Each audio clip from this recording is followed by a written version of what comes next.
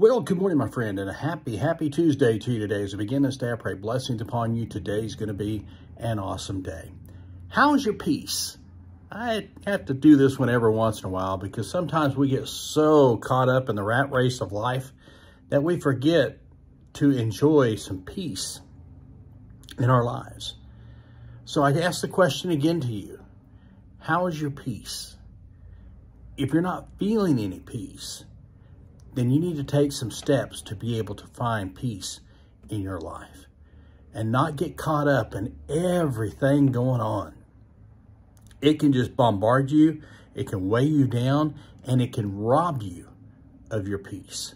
So my encouragement for you today is to find some peace. Find your peace to be able to prosper. Have a great Tuesday, everybody.